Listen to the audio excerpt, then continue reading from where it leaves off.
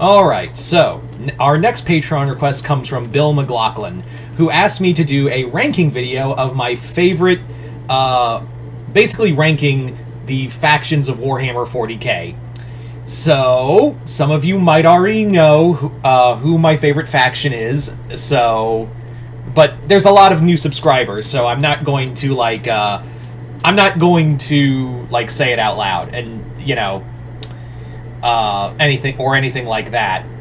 Uh, also, anyone in the comments, please don't just be a dick and spoil it for everyone else. That'd be cool of you. Anyway, so, before we get started, as always, if you guys want to have a Patreon request done, just hit the link below. Head on over to my Patreon, where you guys can start sending me requests or videos to do here on YouTube uh, once you hit the third tier. Um, but yeah, so let's get started. Well, let's actually go through the ground rules real quick of this ranking video. As always, this is just my personal preference. If you think a faction should be higher or lower on this list, that's totally fine. This is all about personal taste. So, yeah, just keep just keep that in mind. It is all personal taste, and I'm always excited to see where the rankings land for you in terms of Warhammer 40k. Also, another thing I'm going to talk about. I'm not going to mention Space Marine chapters in here. They're going to be ranked in with the Imperium of Man. Um, now, if someone wants to give me a ranking video, uh, like send me a Patreon request for a ranking video for Space Marine chapters, please uh, hit the com, uh, go to go to the link below in the description and uh, send me that request. Um, but yeah, I'm just gonna rank the Space Marines in with the Imperium of Man. We'd be here all goddamn day if I if I was adding the um, Space Marine chapters, and I'm not even counting the successor chapters. Um, but yeah, so they're just gonna be ranked in with the with the Imperium of Man wherever that lands. Also, I'm uh, that also counts for chaos. I'm not going to count every chaos marine. That'll probably be another fa- that's another whole video in and of itself of ranking chaos space marine legions. Um, but I will say, when it comes to chaos, I will be breaking up uh, the the four uh, the four factions of four big factions, I should say, of chaos. I'm not just going to have chaos um, because I like them all in different ways. So, um, and there's enough differences between them, between the four Chaos Gods, that I, and I'm not going to count Vashtorr, he's not a god yet. Um, between Slaanesh, Nurgle, Tzeentch, and Khorne, that I can just do that uh, separately. Anyway, so let's get started. Starting at the bottom, let's we're going to start from the bottom and go to the top. That's the other way. We're not going to go from best to worst. We're going to go from worst to best, or least favorite, I should say. That's the better term. So without further ado, let's get started. So starting off at the bottom of the list, we have the Leagues of Votann. They're not bad. Let me use preference by saying I don't. There's no le there's no group in or faction I really hate. The reason why the Leagues of Votann are kind of at the bottom for me is because I haven't really learned enough about them. There's really not much that has like come out in terms of work and you know faction stuff that's really made me want to grab onto the Leagues of Votann. They're just space dwarves. And honestly, the dwarves in Warhammer Fantasy are a little more interesting. There, I said it. um, but there is a new book coming out that finally the Leagues of Votann are getting an, a, a book, so maybe that book will get me interested. But really, there hasn't been a lot of the Leagues of Votann, and that has really grabbed on uh, grabbed onto me, or I've latched onto. So there really isn't much to do with the Leagues of Votann. Uh, so that's why the Leagues of Votann are kind of at the bottom, because, like, there's nothing there for me that has really made me go, ooh, Leagues of Votann. In fact, I forget they're there half the goddamn time. Um, I just, like, literally forget that they are another faction out in the universe. Anyway, so moving on up to our next one, this is gonna be, uh, this one's gonna hurt. like, this one's gonna hurt some people. It's the Eldar. I know, I just heard some people go, What? The Eldar? Yeah, the Eldar they're interesting. Don't get me wrong. They, I like their their universe. I like the craft worlds. I like the different like how each faction took the destruction of their world. The Eldrites, uh, like everything about them is real. Uh, the um, the Exodites, excuse me. The Exodites are really cool. I mean, it's el space elves with space dinosaurs. How could I not fucking like that? But the main thing I have to bring up is that the Eldar don't really have a lot of things that have grabbed uh, that have grabbed me. Same with the Leagues of Votann, and what I have read is pretty fucking awful. Thanks, CS Goto. if you if you know those that author, then you know what I'm talking about. Um, there really isn't hasn't been a lot of, and this is the problem with also with a lot of Warhammer books is that a lot of them are really hard to get, and I've heard that the really good ones are kind of out of reach for a lot of people. Um, so the books are the uh, and I depend more on like and if, for those who don't know, I don't play the game. I just read the lore. I'm not a game. I'm not a player of the game. I just really love the lore. And so far, outside of like um, Eld- uh, Eldrad and Yvraine, there isn't really anyone I haven't really like latched on as like, oh, those are really cool characters. Uh, and also space elves. Also, you you also created Slaanesh by just you just you fucked a god a demon into existence. Thanks. You to quote DJ Khaled, congratulations, you played yourselves. um, so yeah, there you go, the Eldar. Moving on to our next one, we're gonna move on now to our first Chaos God in this uh, in this ranking. That is Khorne. Ooh, I'm gonna make some uh, like yeah, Khorne. Mostly because he's just a big angry god. Not to say I don't like him. There are some cool things there, and I really do like, you know, of course, Kharn the Betrayer and all of that. And the demons are all there, but it's really just like it's just Doom Guy as a world. That right? Like that's just it's just Doom Guy the Hell faction. That's really it. Um, I think the other gods are, are have a lot more interesting things to them. Um, and Khorne is definitely uh, they're all great, but Khorne, if I was to like pick a Chaos God that I think personally is the weakest in terms of character interest for me, it's Khorne. Oh boy, I've just made every World Eater play uh, World Eater fan so pissed. Um, but you can't. Uh, but one thing I can say is you can't help but feel like just a fucking beast when you just shout "Blood for the Blood God, skulls for the Skull Throne." I've got it so much. My girlfriend, uh, uh I've got her going now. so Khorne gets that. Anyway, we're gonna move on now to the next one, the Drukhari. The Drukhari, the aka the Dark Eldar, I put them away because they're so vastly different. So I was like, eh, Dark Eldar can work as their own thing. Uh, the Dark Eldar are a little more interesting than the actual Eldar because they're like, yeah, we. It's almost like it's like a Hellraiser book. It's like it's like uh, Clive Barker in space. How could I not like them? Um, they all believe in like pain and torture, but like there's a method to the madness. Um, Lelith Hesperax um, is a really cool character. I also like that like despite everything, they think they're doing the right thing. Um, and they know like, oh yeah, torture, slavery, all of that's bad, but like it keeps us from getting eaten by Slaanesh so we're gonna try our damnedest to do that. I also just like the just the aesthetics of the ships. I really do dig the aesthetics of, of their crafts. The armor's really cool, and yeah, they're um yeah, I I, I dig them as a, as a faction. I just wish they had more. Uh, I I do want to get the Lelith Hesperax uh, Hesperax book. Um, I want to read more Dark Eldar stuff. Anyway, so moving on um, to the next one, which is our next Chaos God, and that's Tzeentch.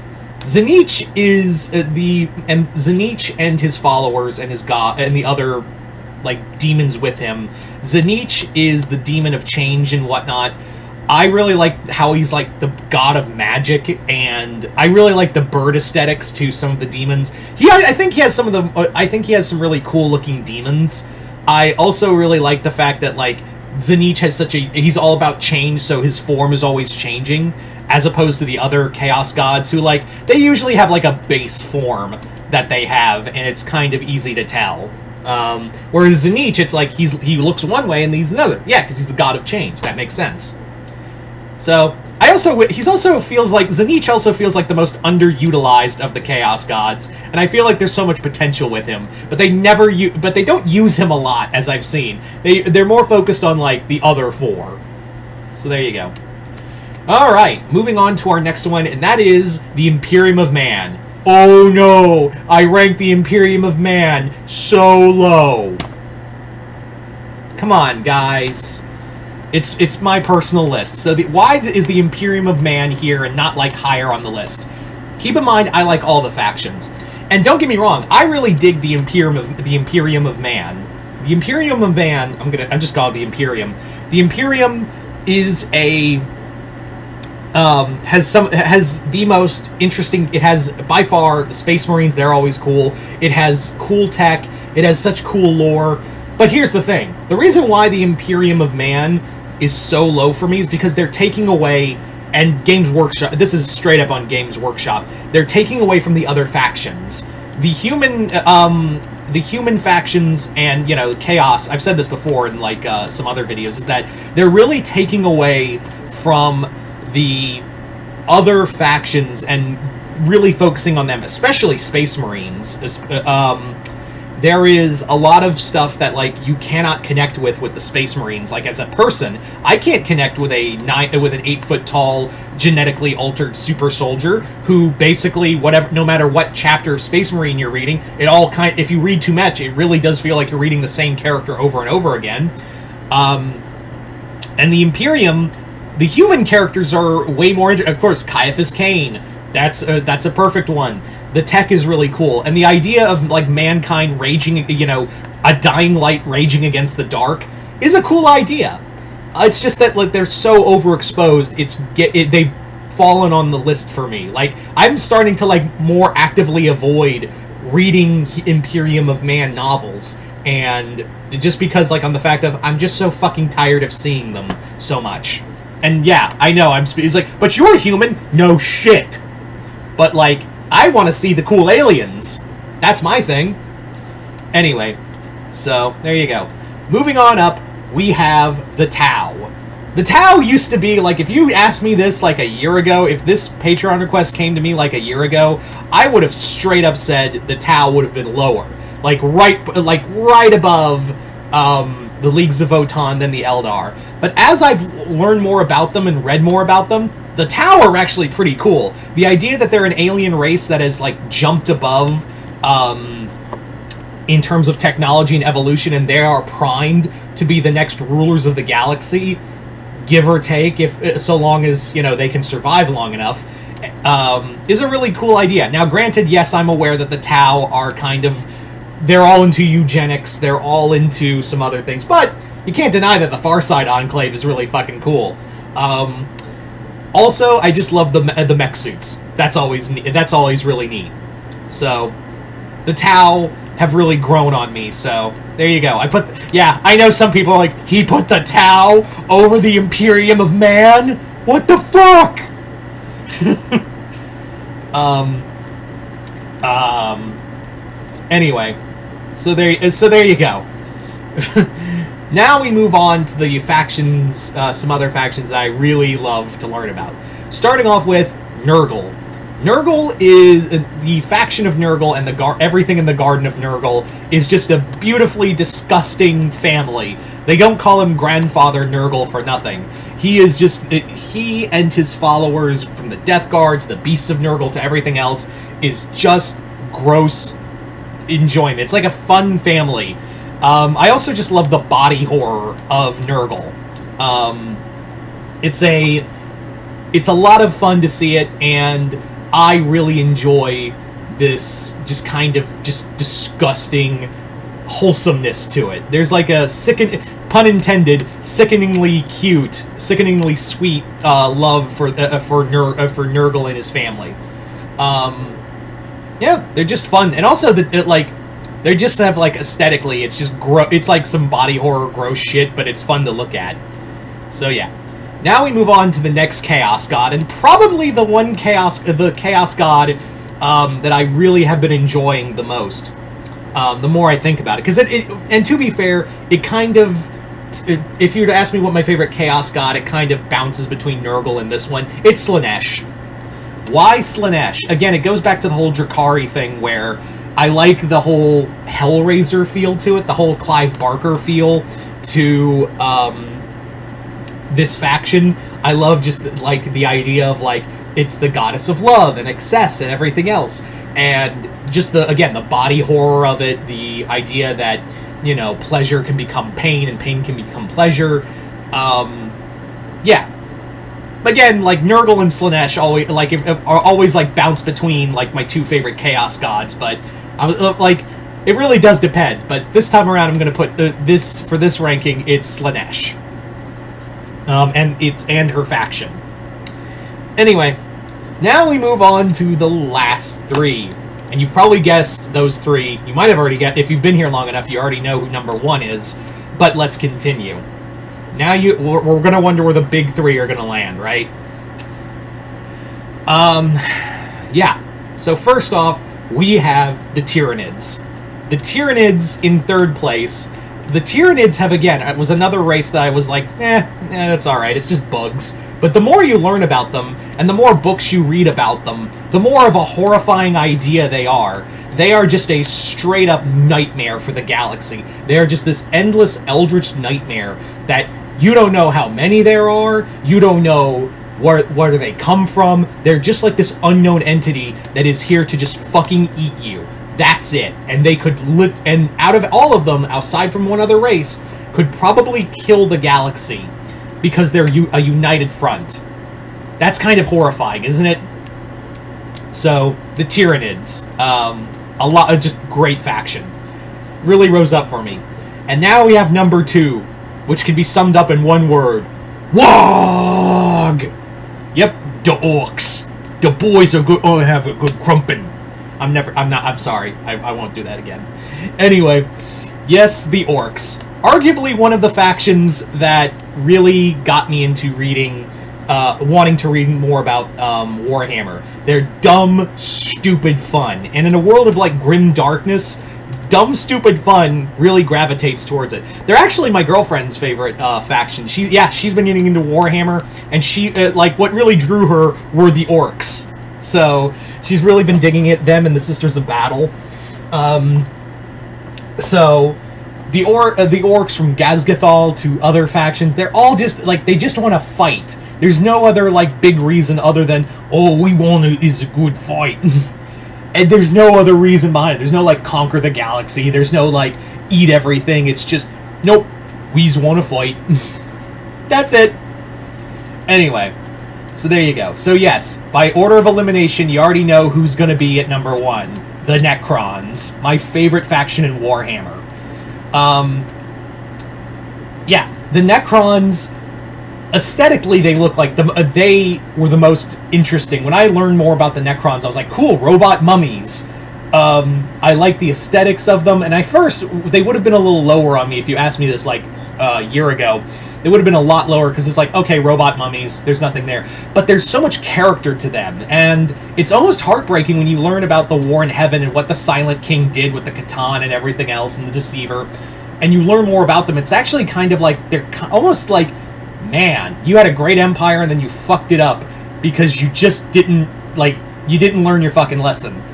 And also, there's actual characters to them. They're from Ultex to Imotekh to the Silent King and uh, to Orikan and of course my boy Tra- uh, Trazyn the Infinite, best character in Warhammer. I think we could like everyone, even if you don't like the Necrons, everyone looks at Trazyn and just goes, "Oh yeah, he's cool." But that's what I think. It, like the Necrons aren't just like because originally in first edition they were just meant to be like you know big Terminator type robots, right? Like they were all just meant to be like these big Terminator type uh, machines. But then they got more character to them. They learned, uh, you know, we got to, you know, do some cool retcons. And sometimes I've always said this that like retcons can work as long as you can like make them interesting. And thank God they did because they made uh, the Necrons had they not made some character changes to them would have been a lot more boring. So thankfully the Necrons have become um, the Necrons have become way more interesting as a, as a faction um, just a race of machines that are just here to kill you and no and just take back their old empire. Like it is the it is a group of god-killing robot mummies who are here to fuck your day up and move on to the next day to fuck up for someone else. Um, yeah. So there you go, guys. That is my uh, rankings for the Warhammer 40k factions. Yeah, I know I didn't like mention the Custodes or Sisters of Battle or the Inquisitors. I threw that all in with the Imperium of Man. But again, if you guys want me to do like a ranking for like um, the Space Marine, like Space Marine legions, not uh, we if I included uh, successor chapters, would be a fucking day. But just like Space Marines or anything like that, just hit the link below. Head on over to my Patreon. Hit the first tier, uh, hit the third tier, excuse me, in the link in the description below. There you go and you can send me that request. But as always, um, I'd like to thank uh, Bill McLaughlin for this Patreon request and continued patronage. And like I said before, if uh, like I know this is list is going to be vexing for some people, but I'm not saying this is the definitive list. You should, uh, ob- you know, you should obey it. I'm just saying like this is just my personal list. So I'm always excited to hear where the rankings for these factions land for you. So yeah, just comment below, let me know. Other than that, hope y'all enjoyed this. I'm Mr. Multiverse. I'll see you next time in the Multiverse.